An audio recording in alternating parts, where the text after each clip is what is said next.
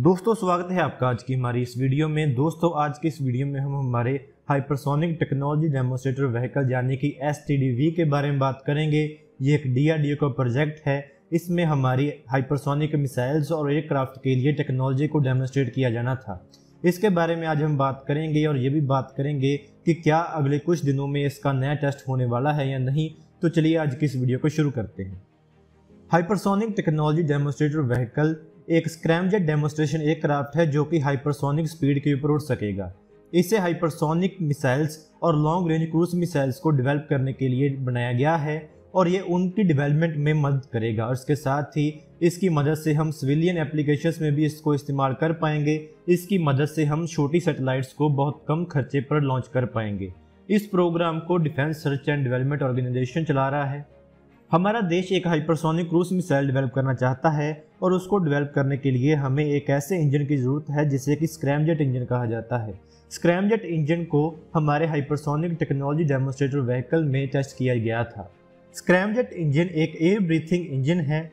अभी जो हम लॉन्च सिस्टम इस्तेमाल करते हैं, जिसमें हम रॉकेट इंजन की बात कर रहे हैं, उनमें जो 70 परसेंट प्रोपेलेंट होता है, वो वो ऑक्सीडाइज़र होता है। जिससे कि एक एक क्राफ्ट का या एक लॉन्च व्हीकल का वज़न काफ़ी बढ़ जाता है। उसी प्रॉब्लम को कम करने के लिए ऐसे स्क्रैमजेट इंजन का इस्तेमाल किया जाएगा। एयर ब्रीथिंग इंजन में हमारा देश दो इंजन के ऊपर काम कर रहा है। एक रैमजेट इंजन है और एक स्क्रैमजेट इंजन है। और इसके साथ ही हम एक और तरह के रैमजेट इंजन के ऊपर बात कर रहे हैं, जिसे कि ड्यूल मोड रैमजेट इंजन कहा जाता है। तो चलिए अब स्क्रैमजेट इंजन के बारे में बात कर लेते हैं। स्क्रैमजेट इंजन हवा से ऑक्सीजन लेता है। जो स्क्रैमजेट इंजन होते हैं, इनमें हमें अलग से ऑक्सीडाइजर को लेने की ज़रूरत नहीं होती है। इससे, इस क्राफ्ट का वज़न काफ़ी हल्का हो जाता है, या इस लॉन्च व्हीकल का वज़न काफ़ी हल्का हो जाता है, और जो ऑक्सीडाइज़र है, वो हवा से लिया जाता है।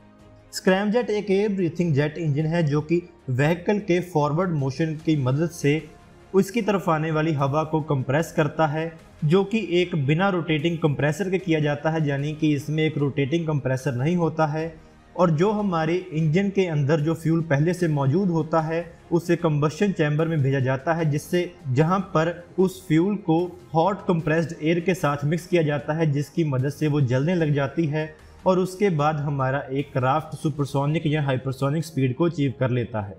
इससे पहले हम जो रैमजेट इंजन के ऊपर काम कर रहे हैं, वो सुपरसोनिक स्पीड के ऊपर बहुत अच्छा काम करते हैं, जो कि मैक थ्री की स्पीड है theoretically ramjet engine Mach six की स्पीड के ऊपर भी ऑपरेट कर सकते हैं, लेकिन जो स्क्रैमजेट इंजन होते हैं, वो रैमजेट इंजन की एक इम्प्रूवमेंट होते हैं, वो हाइपरसोनिक स्पीड के ऊपर एफिशिएंटली ऑपरेट कर सकते हैं और इनमें सुपरसोनिक कम्बशन होता है।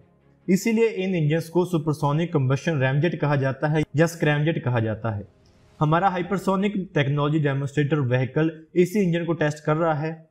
हमारे टेक्नोलॉजी डेमोस्ट्रेटर व्हीकल का गोल ये है कि वो एक ऑटोनोमस क्रैमजेट फ़्लाइट को अचीव करेगा, जो कि 20 सेकंड्स के लिए होगी और इसमें एक सॉलिड रॉकेट लॉन्च बूस्टर का भी इस्तेमाल किया जाएगा। अभी जो स्क्रैमजेट और रैमजेट इंजन दोनों हैं इनके साथ प्रॉब्लम ये है कि इनको लॉन्च करने के लिए इनके साथ एक अलग रॉकेट बूस्टर चाहिए होता है जो कि, कि इन इंजन को या इन व्हीकल्स को एक रिक्वायर्ड एल्टीट्यूड के ऊपर लेकर जाएगा और वहाँ पर जाकर इसका जो रैमजेट इंजन या स्क्रैमजेट इंजन काम करना शुरू कर देता है और जिसके बाद ये अपनी फुल स्पीड को अचीव कर सकता है।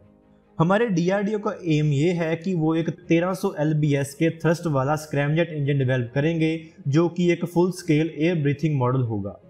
अभी तक जो रिपोर्ट्स आई हैं उसे ऐसा पता चला है कि इस इंजन प्रोजेक्ट में रशिया ने हमें मदद की है। हमारे एच एस प्रोग्राम में इसराइल और रशिया दोनों ने मदद की है। इस इंजन के टेस्ट में, जो कि 2019 में किया गया था, तब इसमें एक अग्नि वन मिसाइल के सॉलिड रॉकेट मोटर का इस्तेमाल किया गया था, जिसमें अग्नि वन के सॉलिड रॉकेट मोटर ने इसको एक रिक्वायर्ड एल्टीट्यूड के ऊपर लेकर जाना था, और जब वो रिक्वायर्ड एल्टीट्यूड अचीव हो गया तो तब इसने काम करना शुरू करना था, तब इसका स्क्रैमजेट इंजन काम करना शुरू करने वाला था। जिसके बाद इसका जो क्रूज व्हीकल था, वो लॉन्च व्हीकल से बाहर आ जाना था और जो इसका स्क्रैमजेट इंजन था, वो हवा में ही चला दिया जाना था।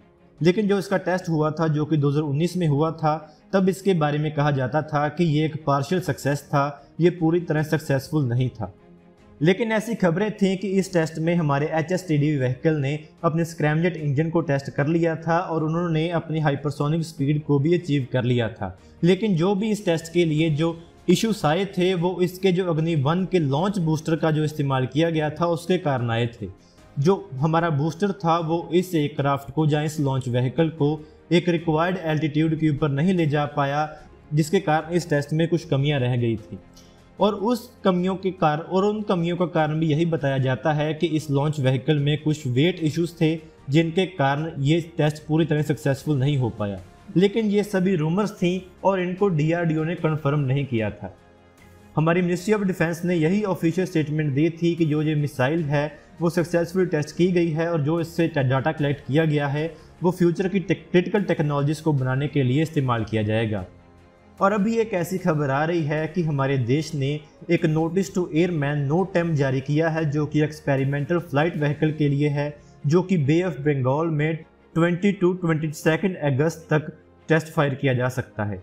इसके लिए उन्होंने 555 किलोमीटर के एरिया को अलर्ट किया है, और ऐसा ही अलर्ट पिछली बार भी जारी किया गया था, जब हमारे इंजीनियरली developed hypersonic technology demonstrator vehicle को टेस्ट किया गया था।